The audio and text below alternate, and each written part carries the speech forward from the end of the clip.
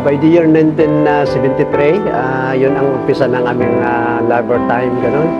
At ah, panahon na yon, nagkakilala kami sa isang ah, parte ng sayawan o isang parte, ganun. Ah, pag-abot sa mga panahon na mga mga ah, three months ago is ah, naging ah, best ko siya na ah, babae sa buhay ko, ganun.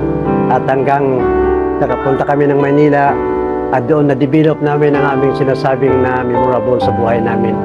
At doon nag-umpisa ang buhay namin hanggang nabigyan ako niya ng anak.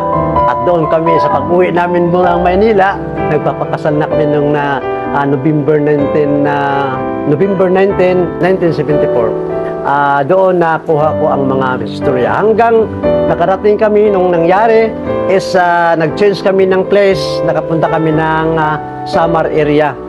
No, dito na ngayon. Ah, dito ko na na-develop ang aking ah, anim na anak dito sa area ng ah, Barangay Piña, Tinabacan District, Albay City. Oh, at saka dito ko na-develop kung paano ko pinalago, pinaano ko pinabigyan ng buhay ang aming buhay mag-asawa. Ganun. At saka itong lahat na yon ah, nangyari na mayroon mga circumstansya rin na nangyari sa buhay namin dito sa Piña, naka-change kami papunta ng ah, Maynila. O doon na na-develop ang aming buhay na maganda. ang umpisa namin. Kasi galing ko sa Manila, pumunta ako ng tour din dito sa ano, Burias Island. Tapos, mayroon doon ano, kasalan. Kami ang kinuha na mag, ano doon na, microphone, mag, ano doon sa kantahan ba. Hindi ko akalain na nandoon siya. Nagtaka ako sa kanya na pagdating ko doon, hindi pa man kami magkakilala dahil singer kasi siya. Sabi niya, ay hindi kami nagkakilala. Eh, Yung mga kaibigan ko, siya pala nagtanong, "Sino- anong pangalan ng babae na yan? Tinuro naman pangalan ko. Yun naman, yun naman babae na siya din nagsumbong na pangalan niya. Hindi kami nagharapan sa pangalan. Tulak-tulak lang ba?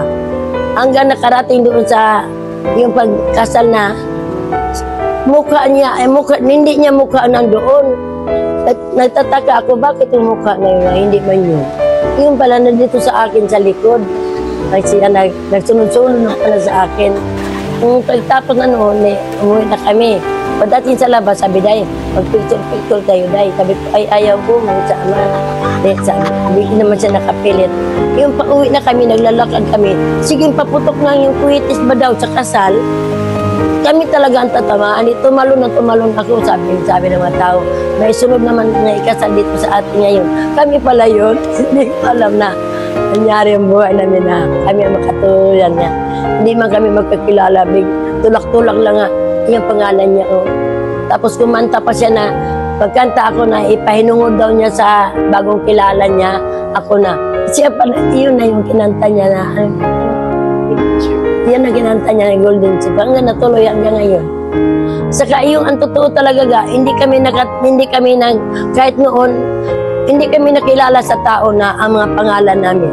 Dahil siya, Day, ang pagkakilala natin, Day o Dong. Ang tawag mo sa akin, Day, Dong, ha? Ang tawag, ang tawag ko sa iyo, Day.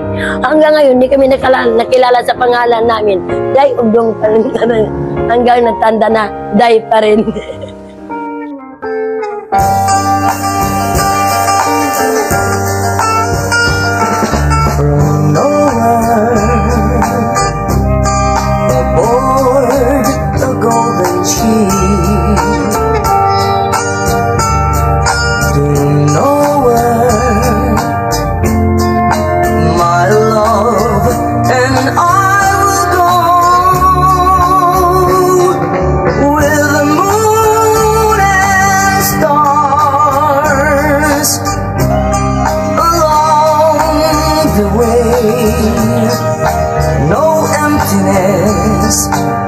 can feel today.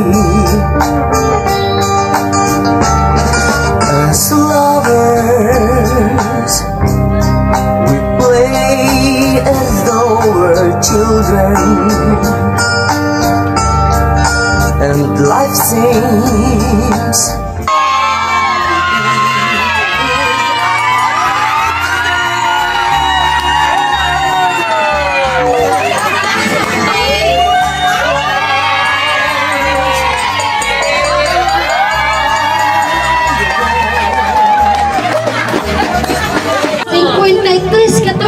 ni Papa.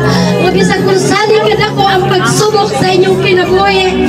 Ug naanan nakita na namo nga naa kamo nga kita lang gihapon ang nagkauban sa buong pamilya.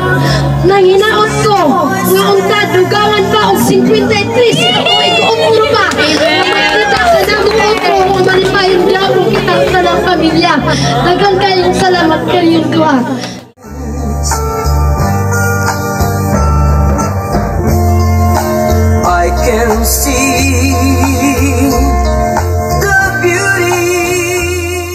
Ang akong ikaingon mo dahil, no? Kinimensahe na ako nimo hinaot unta nga bisag kanus uh, bigyud ta magbuwagay. Tanang ah, hantod sa atong ikamatay nga niya patas kalibutan. Nang yung mag ah, mag inunungay gyud ta hantod sa atong kinabuhi no?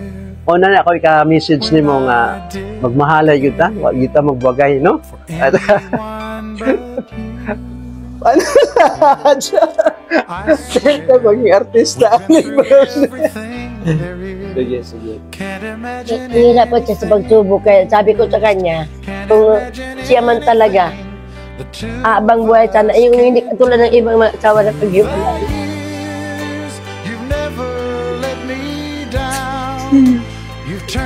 life. Kasi ang totoo talaga, 33 kong na babae sa kayong buhay. Kaya sabi ko sa sarili ko, kung ako kung ako magtiis ako sa buhay ng babaero, pero okay naman salamat din ako sa kabaitan niya. Dahil nagpagod talaga siya sa buhay niya. Na, sabi kasi niya na kung papayag ka lang na hiwalay ko lahat ng babae sa mundo. Kaya ako, na, ako pa rin napakasta niya. Saka ayaw ko nga, halimbawa mag-asawa tapos nag-iwalay hanggang yung mga, mga anak mag-iba-iba.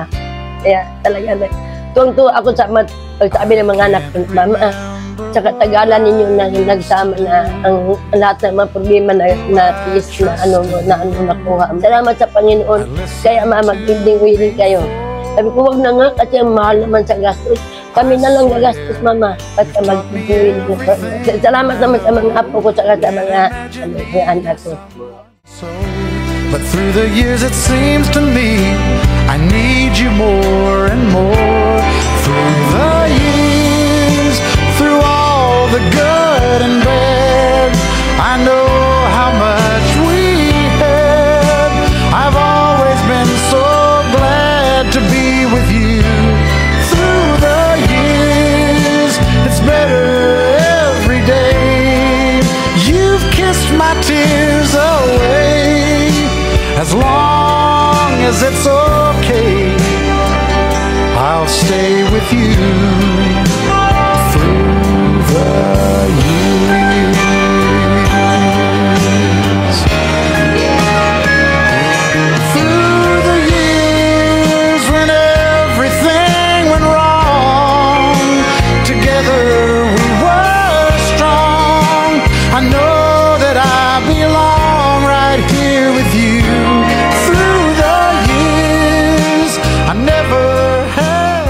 Muna nga ang imong kinabuhi, imong yun igahalad, no?